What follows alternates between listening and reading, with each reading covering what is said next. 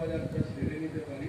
সেদিকে আমরা নজর রাখতে একটু ভালো আনন্দবাজারটা সেরে না নিলে পরে আবার ব্রাহ্মণ যারা রয়েছেন, বৃদ্ধ যারা রয়েছেন অন্য দেওয়ার জন্য, তারাও কিন্তু চলে যাবে। সেই ক্ষেত্রে আমাদের একটু মানে সমস্যার সম্মুখীন হতে হবে।